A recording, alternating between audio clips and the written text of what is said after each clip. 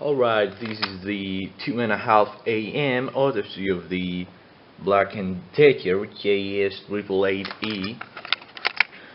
Uh, this thing lately has got uh, a grinded gear inside. Uh, I believe it's the... Uh, it's not the spur of the motor as it suddenly freezes and you hear the spur grinding it, so I believe it's the, the second or third gear if uh, there's even such thing inside. I mean the gear that drives the blade driver. Anyways, uh, this jigsaw has been serviced since of uh, 2007 I believe. Uh, it has been used daily into construction so you can pretty much understand how it's used. Um, another thing that it has is that you can never get a, straight cut with it. You can cut like this, but there is somewhat of a play on the blade driver and uh, well not actually a play but if you try to get a straight cut this firstly this won't stay straight as uh, it's a little broken here and second the most straight cut you can get is this one. This one here but if you see it closely you will see that it's angled. So yeah. By the way this is a replica bezel of the IBM 5150 PC case nothing important for now. And uh, this thing has so much uh, gypsum dust and uh, plaster dust, uh, uh marble, uh, cement and such things that it's almost clogged up. Bond, the, the bond here just stuck sometimes. I'm Not sure if this works. The bond holder.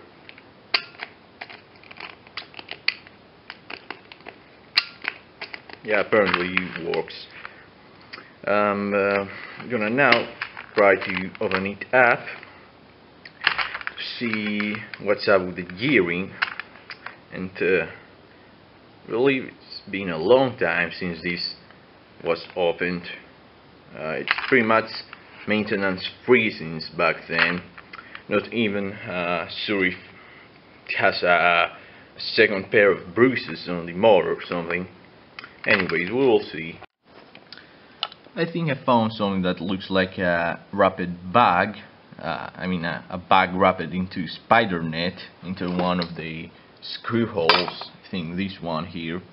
Anyways and uh, just as I expected the gear that drives the blade driver is grinded up from from uh, here to here like one two three uh, seven or eight teeth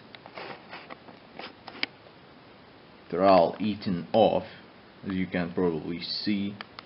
And uh, the spur gear is uh, you know just intact.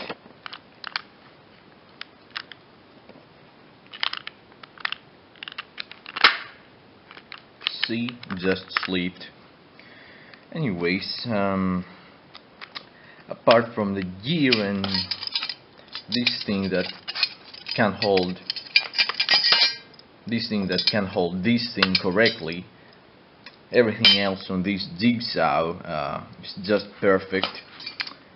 It's not really a sad jigsaw as um, you know the more the carbon brushes the the bearings. Everything looks healthy. So yeah basically if you put another gear here and the you know find a way to keep this attached correctly, you know, will just be uh, a normal jigsaw that can catch something uh, at least decently. And it's proven reliable after all these years into the constructions. So yeah.